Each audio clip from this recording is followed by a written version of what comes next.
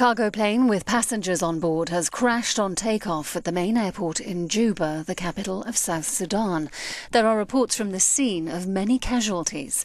Eyewitnesses say at least 40 bodies have been recovered from the site of the crash, which is only 800 metres from the end of the runway. It's not clear how many were on the Russian built aircraft and how many on the ground. Local fishermen were in the area at the time. The plane is thought to have been heading for Paloch in Upper Nile State.